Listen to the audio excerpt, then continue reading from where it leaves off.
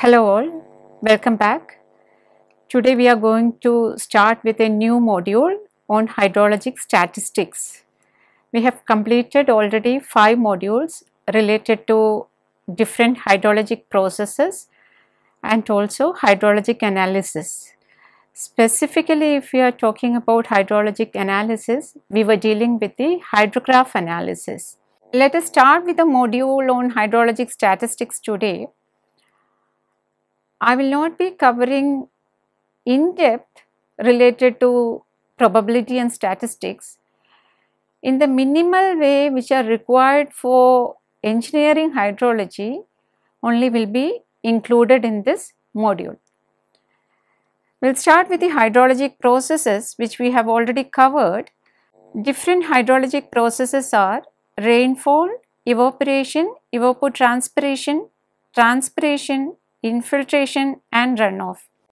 Now when we talk about these hydrologic processes, certain uncertainties are involved with this. These uncertainties may be arising due to the characteristics of the variables which are causing this particular process. The variables which are involved in the process called rainfall itself is stochastic in nature. That is why these processes can be modeled as random process and hence there is a need of methods of probability and statistics for the analysis of random variables. Probability and statistics are used for frequency analysis. This is very very important as far as hydrologic analysis is concerned. Let us start with probability. Probability means the chance of occurrence of an event or a random variable among a set of alternatives. For example, if you are talking about rainfall, rainfall of magnitude greater than or equal to 3 centimeter. Whether we will be able to state that tomorrow at 10 am there will be a rainfall of exactly 3 centimeter, it's impossible. So, these type of events or hydrologic variables can be considered as random variable. So, the probability of occurrence of a rainfall of magnitude greater than or equal to 3 centimeter can be mathematically written as Pa is equal to limit n tends to infinity Na divided by capital N. Capital N is the total possible number of occurrences and small na is the total number of observations of the particular event that is rainfall magnitude greater than or equal to 3 centimeter. That is the number of events na total number of observations of particular event. We will be having a set of data describing past data maybe of 10 years if you are talking about annual rainfall. Out of that we will be having the number of observations representing a particular event and we are having the total number of observations. If we take the ratio of that and limit n tends to infinity, Na by n is representing the probability of that particular event A, probability of occurrence of that particular event A. Now coming to random variable, what is meant by random variable? Just as I have explained with the case of a rainfall, Random variable is the one which can have any value between certain range. It is the variable which can assume any value within certain range. We cannot exactly point out at a particular location at a particular time this will be the rainfall which is going to occur tomorrow or any date. It can be any value within certain range. Those type of variables can be described by a certain probability distribution. What is meant by probability distribution we will come to it, but these random variables can be expressed by means of certain probability distribution. So, probability of a random variable having a value less than or equal to a specified value, we have seen the expression and that is denoted by P capital X less than or equal to small x is equal to lowercase p. This is the way in which we represent probability of a random variable. In this expression, capital X is the random variable and lowercase x is any value corresponding to this particular random variable. Example as I have stated rainfall, it can be rainfall, it can be stream flow. For example, if you are talking about stream flow, peak flow in a river, if you are considering for last so many years, based on that we can express the value corresponding to future year that it will be within certain range. We cannot exactly tell that this will be the peak stream flow or peak flow in a river at a particular location. So that way stream flow, rainfall, all these hydrologic variables can be considered as random variable. Random variables can be of uh, two types, discrete random variable and continuous random variable. If you are talking about the number of rainy days, that can be expressed as an integer. Those are discrete values. Number of rainy days in a particular month, it can be represented by means of integer. So, that type of uh, variables are discrete random variables. Now, if you are talking about the amount of rainfall, amount of peak flow, these things cannot be expressed by means of a single value. It will be within a range. Sometimes it will be having fractional values also. Decimal values it will be taking. So those type of random variables are termed as continuous random variables. Whether there will be a flood, chances are 0 or 1. If there is a flood, the probability will be represented by means of 1 and if there is no flood it can be represented by means of 0. So, these are represented by certain numbers. So, those are discrete random variables and which are represented by means of a range of values that particular value can be within that particular range, then it is termed as continuous random variable. Before going to the hydrologic statistics, let us have the preliminary understanding about probability and statistics. Then we will deal with the hydrologic variables. So first we need to have the understanding about population and sample. This I think I have explained during the time of uh, uh, rainfall related topic but still I will repeat here.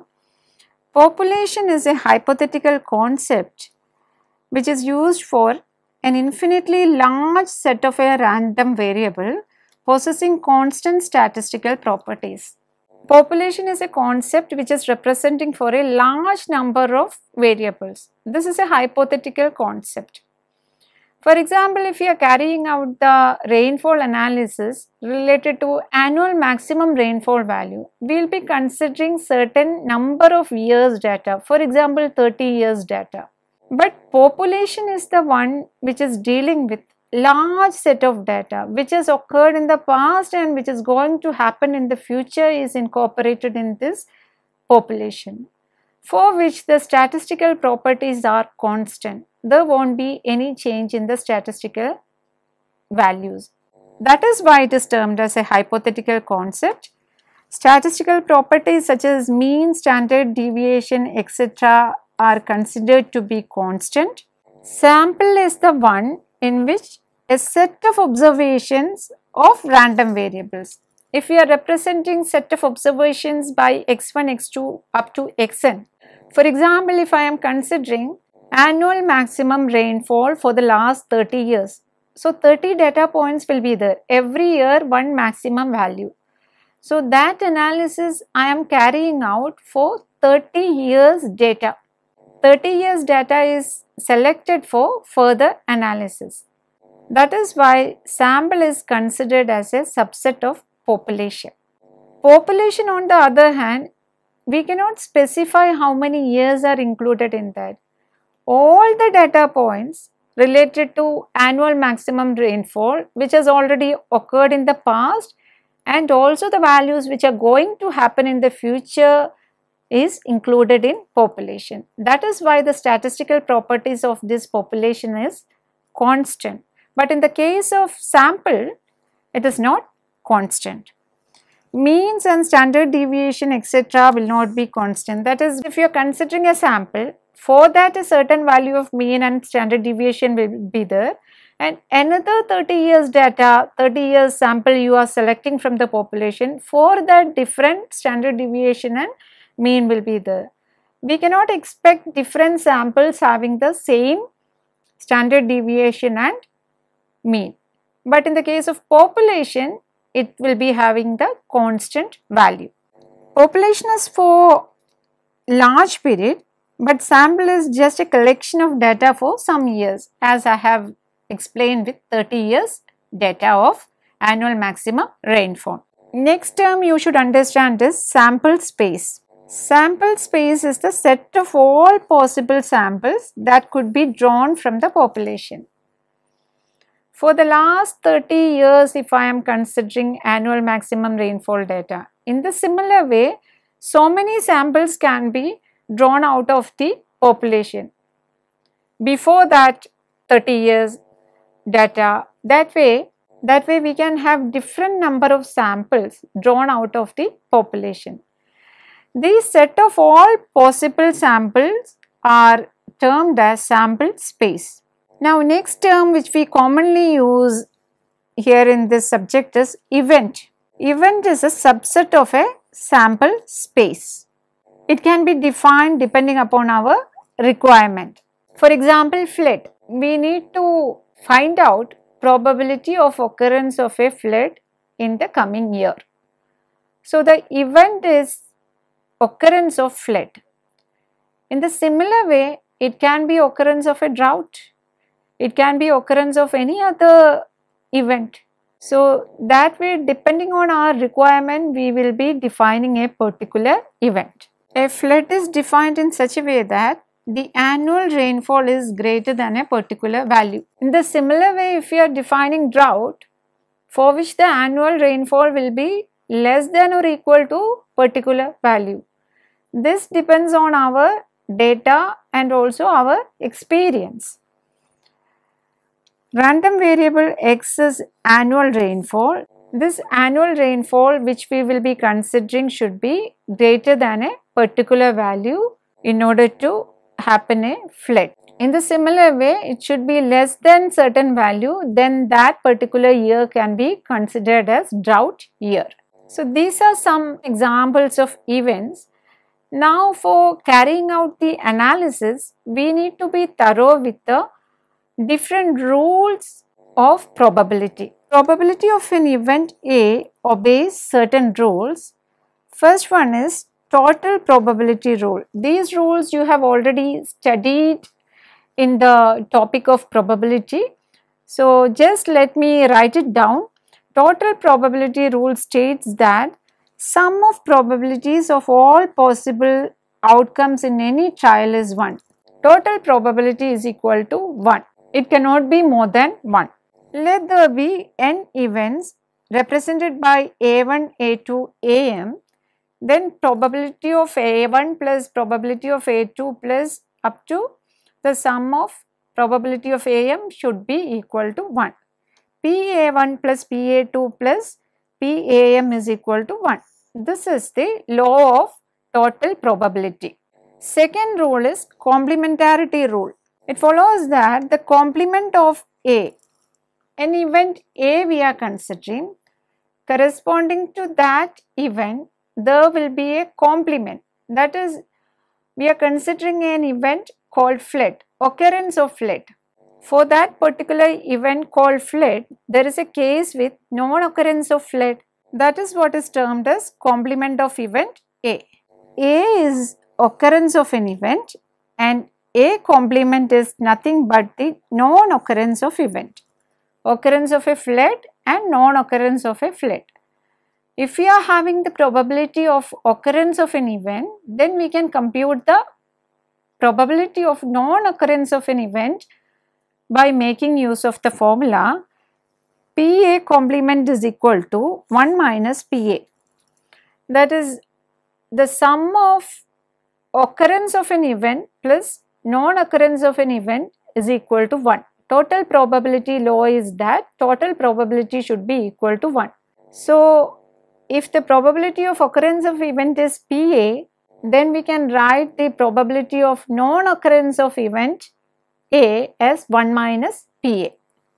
This is the rule of complementarity.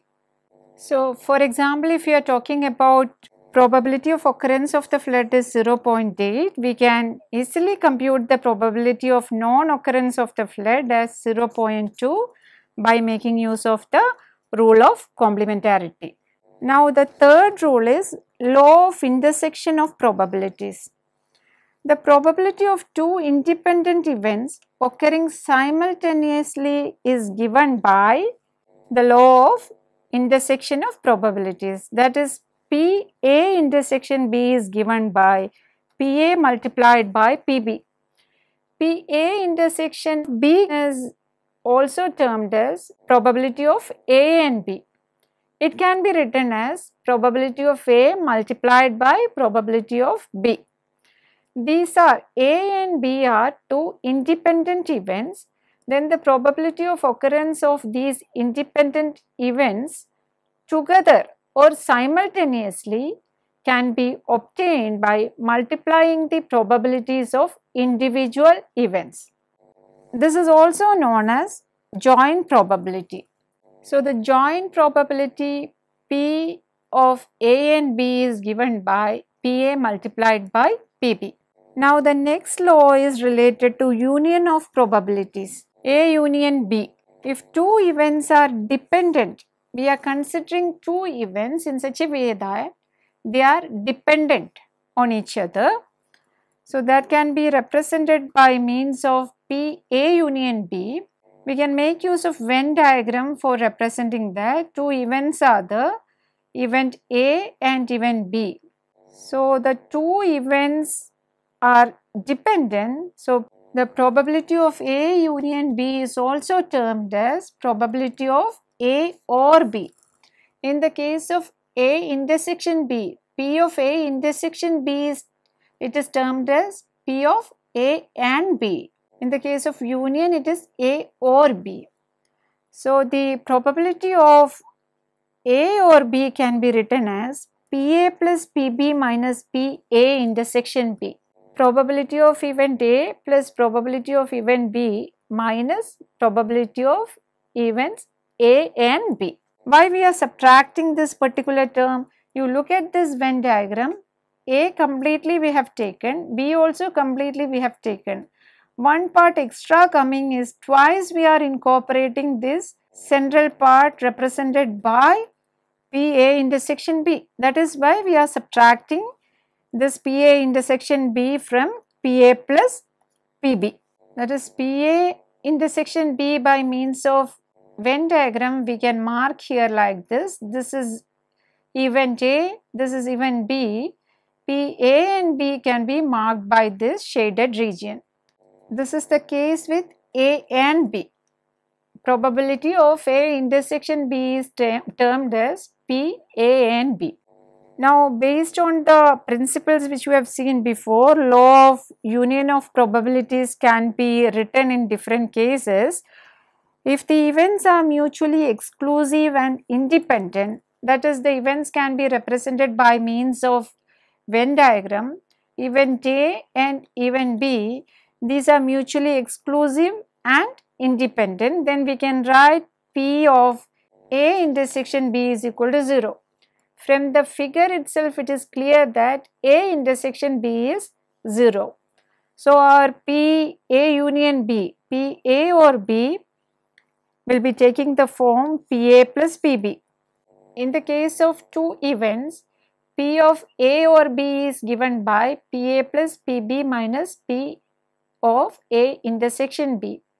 In the case of mutually exclusive independent events, probability of A intersection B is 0. So, we can write P of A or B as PA plus PB because P of A intersection B is 0. Now next law is related to law of conditional probability. Law of conditional probability is very important. when we carry out hydrologic analysis. This is based on Bayes theorem. So, that much we are not going in detail in this particular undergraduate course, but still fundamentally what it is you should have the flavor of that. So, let capital A and B are two events. Probability of the event B given event A has already occurred. Two events are there represented by A and B. We are going to calculate the probability of occurrence of a particular event, but the other event has already occurred. There is a condition that the other event has already occurred. Probability of the event B given that event A has already occurred. The conditional probability that event B will occur provided A has already occurred is written by P B given A the conditional probability of B given A is given by P of A and B divided by PA. One example we can take, event A is the case with precipitation of magnitude less than 100 centimeter this year and event B is precipitation of magnitude less than 100 centimeter next year. A is representing a precipitation less than 100 centimeter this year and B is the event representing the precipitation which is less than 100 centimeter next year. A intersection B is event that A and B both occurs that is two successive years with annual precipitation less than 100 centimeter per year. P B given A that is A has already occurred the precipitation of magnitude less than 100 centimeter has already occurred this year. What is the probability of occurrence of a precipitation next year which is less than 100 years, which is less than 100 centimeter in the coming year? This year what is the value that has already occurred? Given that what will be the probability for the other event to occur in the next year? Then we are having a certain condition to be satisfied that the event A has already occurred. So, in such cases we have to go for making use of the formula related to conditional probability. Probability of B given A is given by P of A and B divided by P of A. If the occurrence of one is dependent on the other, then P a intersection B or P A and B is given by PA multiplied by PB given A. That is the occurrence of one is dependent on the other. We are talking about getting precipitation less than 100 centimeter in the next year if we have already obtained a precipitation less than 100 centimeter this year that condition is there. So, for getting probability of occurrence of A and B that is P A intersection B is given by PA multiplied by probability of B given A that is given by this particular formula. Now for understanding the concept of conditional probability we can solve one numerical example. Historical data of an area shows that probability of occurrence of a flood given that a landslide has already occurred in a particular year is 0.3 and the probability that landslide will occur given that a flood has occurred already is 0.8. The joint probability of the occurrence of a flood and landslide together is 0.2. Determine the probability of occurrence of a flood and a landslide in a year. This is based on conditional probability we need to solve the problem. We are having two events that is one is flood and the other one is landslide. Let us represent two events. Let probability of occurrence of flood be represented by PA and the probability of occurrence of landslide be represented by PB. PA is representing probability of occurrence of flood and PB is representing the probability of occurrence of landslide. Data given includes probability of occurrence of a flood given landslide has already occurred is 0.3 PA given B is 0.3. Conditional probability of A given B is 0.3 and probability of B given A is given 0.8 that is the occurrence of probability of occurrence of landslide given the flood has already occurred is 0.8.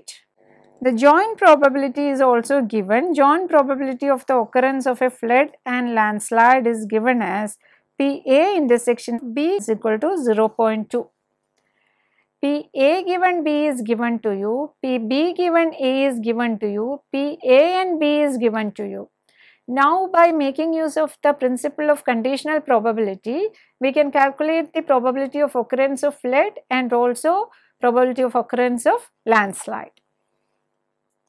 From the law of conditional probability, we are going to make use of the mathematical expression P A given B is equal to P A and B divided by P B.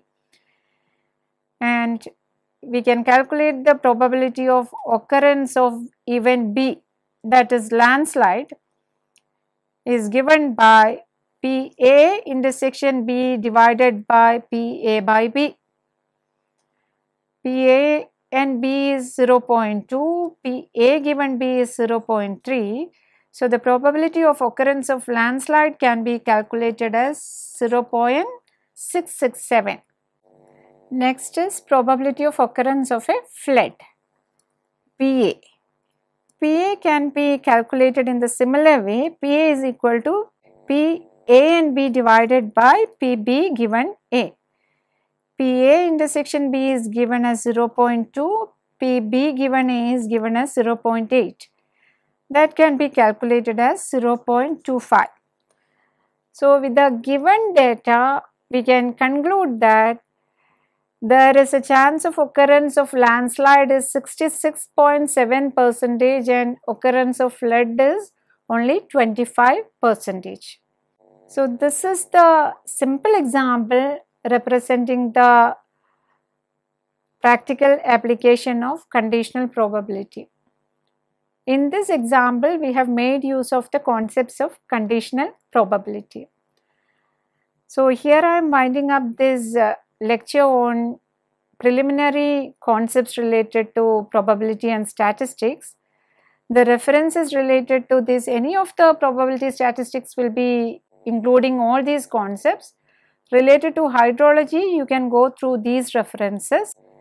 Here I am winding up this lecture. Thank you.